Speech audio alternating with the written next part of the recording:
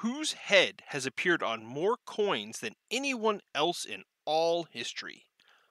This honor belongs to that grand old Lady Victoria, Queen of England and Empress of India. Her reign started in 1837 when she was only 18 years old and continued until her death in 1901.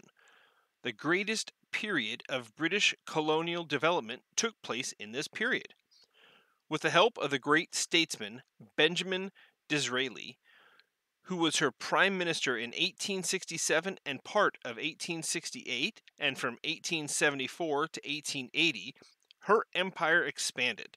Historically, probably her greatest hour was when she was crowned Empress of India in 1876. Her rule extended to every continent.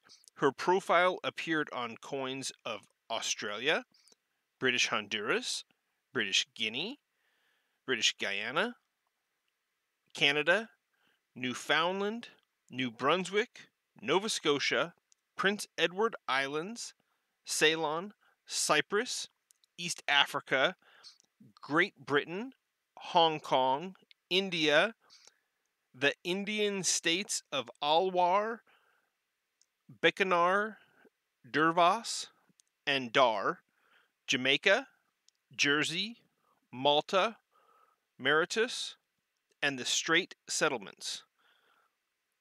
As the good queen grew older, it became necessary to change the profile and gracefully show her first maturing form from youth to young womanhood to middle age to old age.